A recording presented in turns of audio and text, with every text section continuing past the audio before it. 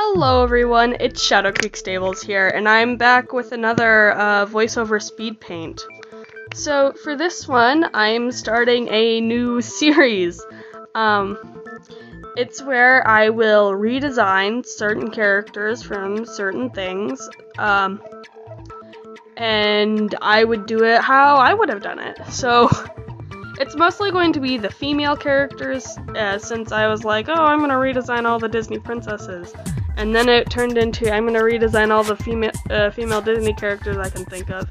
And now it's to turn into, I'm to redesign all the female characters that I can think of. Uh, so, but, uh, we're starting off with the Disney princesses, so the rest of the series doesn't matter right now. Uh, I started with Snow White, the first ever Disney princess. Um, her whole thing, um, she's, uh, she has hair as black as ebony, lips as red as blood, and skin as white as snow. And for me, that says vampire. um, don't get me wrong, she's gorgeous. I just, I just went the whole vampire route when drawing her. I also figured out that she, her tale originated from Germany in the 16th century, I think. No, it was the 18th century. I don't know. Anyways, her clothes are bent, uh, based off of that, and then I grew her hair out because I'm pretty sure nobody had that haircut um, in Germany at that point in time. Um, I used a lot of whites and golds instead of the blue, yellow, and red that she had going on. Like, the primary color scheme was not complementing her complexion at all. Although I did really like her uh, brown, amberish eyes. Those were really pretty.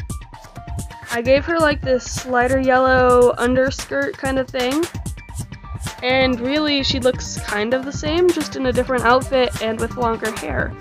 Um, I decided to use more shape language when redesigning all these characters, so in the concept art, what I used for my original sketch, she was made up out of circles.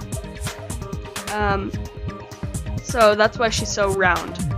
Uh, next, we're gonna move on to Cinderella. Cinderella will not end up looking like the Cinderella we all know and love.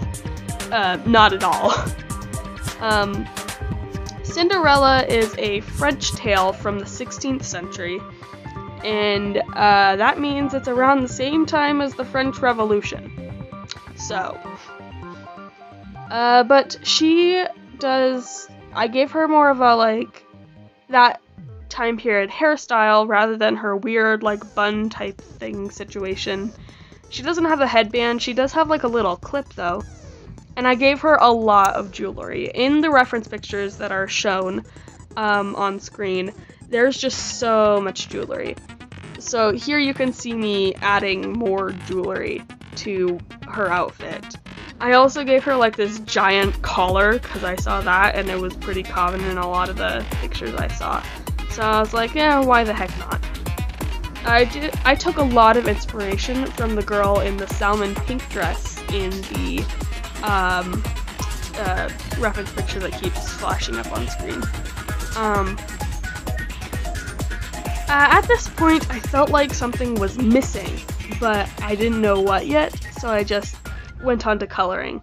I darkened up her hair a bit, and I darkened up her skin a little bit, and um, I just started coloring. So I colored her sleeves, her cuffs white, and her collar white, and then I color picked from her dress and I made it the same powder blue. I gave her a lot of gold as well, and that and at this point, this is where I figured out what was missing, and so I gave her like the weird stripy thing that the girl with the salmon colored dress had. Um, so it's it's still gonna be the same powder blue, and then the inside is a white, and then the little stripies became gold. Um, the a lot of her jewelry is gold, and then I gave her some like blue accents.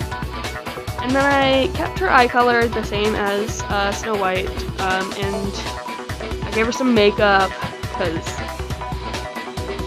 you're not French royalty if you're not wearing makeup. And then I was done. And then I just took a couple, you know, pictures and whatever. And so this is the first episode coming to an end. I hope you guys will enjoy it, and I'll see you next time. Bye!